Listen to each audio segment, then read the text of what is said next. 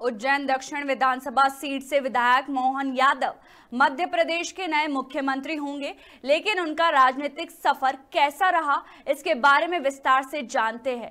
यादव ने उन्नीस सौ चौरासी में अखिल भारतीय विद्यार्थी परिषद यानी एबीवीपी से अपने राजनीतिक करियर की शुरुआत की।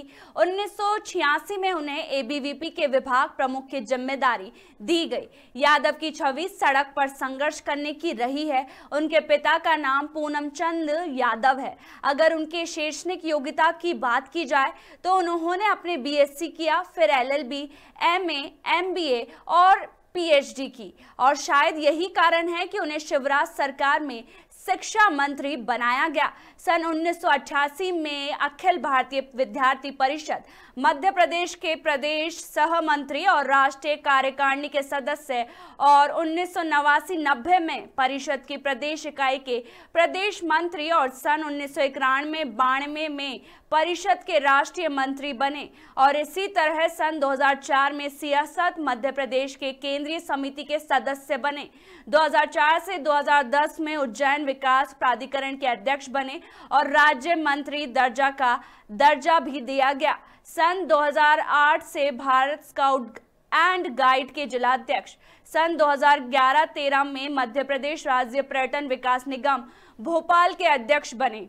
लेकिन सन 2013 में चौदहवीं विधानसभा के सदस्य निर्वाचित हुए, यानी पहली बार विधायक बने।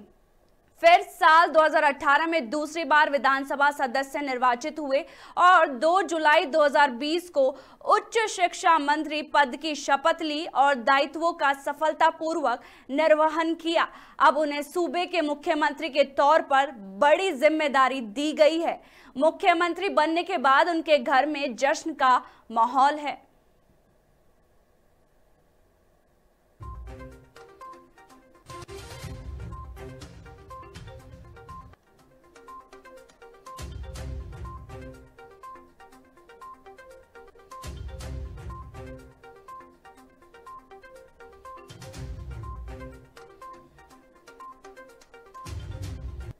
जोरदार ताली बजाए मैं आप सबको प्रणाम करता हूँ और आप सबका धन्यवाद अदा करता हूँ। केंद्रीय नेतृत्व का, प्रदेश नेतृत्व का, समुचे मंच का, मेरे जैसे छोटे से कार्यकर्ता को, हमारे सभी मित्रों ने मिलकर कर आपके मार्गदर्शन में जो जवाबदारी दी यद्यपि मैं उस लायक नहीं हूँ, लेकिन आप सबका प्रेम, आपका आशीर्वाद, सहयोग मिलेगा।